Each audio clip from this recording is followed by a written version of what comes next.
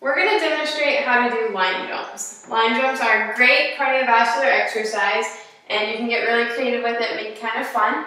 Um, the first I'm going to show you, we're using a band, a resistance band, but you can use tubing, a jump rope, even any kind of object, um, as long as you can jump over it.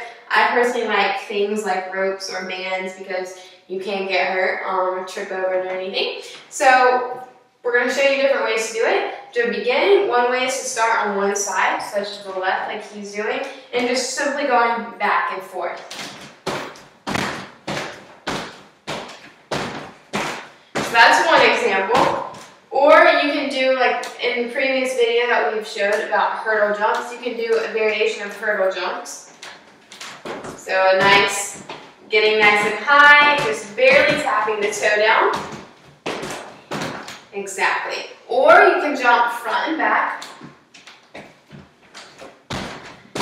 Really trying to clear it. That's the point. Perfect. So those are the main ones, but you can get creative. Like I said, you can do one leg.